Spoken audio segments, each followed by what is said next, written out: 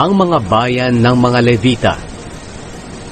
Ikatatlumput limang kabanata Sinabi ng Panginoon kay Moises doon sa kapatagan ng Moab, sa tabi ng Hordan malapit sa Jericho. Sabihin mo sa mga Israelita na bigyan nila ang mga Levita ng mga bayan na titirhan ng mga ito mula sa mga lupaing matatanggap nila. Sa ganitong paraan may matitirhang bayan ang mga Levita at may pastulan para sa kanilang mga hayop. Ang agwat ng pastulang inyong ibibigay sa palibot ng kanilang bayan ay mga apat na raan at limampung metro mula sa pader ng kanilang mga bayan. Pagkatapos sumukat kayo ng siyam na raang metro sa bawat direksyon ng bayan, sa silangan, sa timog, sa kanluran at sa hilaga, kaya nasa gitna ang bayan nito. Ito ang pastulan para sa mas malaking mga bayan. Bigyan din ninyo ang mga Levita ng anim na bayan na magiging lungsod na tanggulan, kung saan makakatakas papunta roon ang taong makakapatay ng hindi sinasadya. Hindi ito kasama sa apat na dalawang bayan na inyong ibibigay sa kanila. Kaya apat na walong lahat ang mga bayan na inyong ibibigay sa mga Levita, kasama ang kanilang mga pastulan. Manggagaling ang mga bayan na ito sa mga lupain ng mga lahi ng Israel. Ang lahi na may maraming parte ay magbibigay ng maraming bayan, at ang lahi na may kaunting parte ay magbibigay ng kaunti. Ang lungsod na tanggulan Pagkatapos sinabi ng Panginoon kay Moises, Sabihin mo sa mga Israelita na kapag tumawid na sila sa Hordan papunta sa Kanaan, pumili sila ng mga bayan na magiging lungsod na tanggulan kung saan makakatakas papunta roon ang taong makakapatay ng hindi sinasadya. Mapoprotektahan siya ng lungsod na ito laban sa mga taong gustong gumanti sa kanya. Hindi siya dapat patayin hanggat hindi pa siya nahahatulan sa harap ng kapulungan. Ang anim na bayan na ito ang magiging lungsod ninyong tanggulan. Ilagay ninyo sa silangan ng Hordan ang tatlong lungsod at tatlo sa kanaan. Ang anim na bayan na ito ay magiging tanggulan hindi lang ng mga Israelita, kundi pati ng mga dayuhan na naninirahan kasama ninyo, para ang sino man sa kanila na makapatay ng hindi sinasadya ay makakatakas papunta dito. Pero kung hinampas ng isang tao ang sino man ng bakal at namatay ito, ituturing na kriminal ang nasabing tao at kailangang patayin din siya. Kung binato ng isang tao ang sino man at namatay ito, ituturing na kriminal ang nasabing tao at kailangang patayin din siya.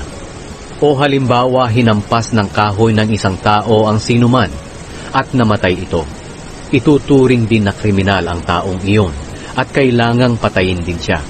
Ang malapit na kamag-anak ng pinatay ang may karapatang pumatay sa kriminal. Papatayin niya ang kriminal kung siya'y makikita niya.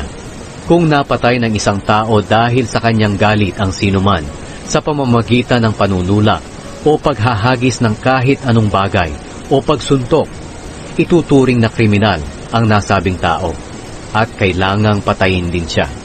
Ang malapit na kamag-anak ng napatay ang may karapatang pumatay sa kriminal. Papatayin niya ang kriminal kung siya'y makikita niya.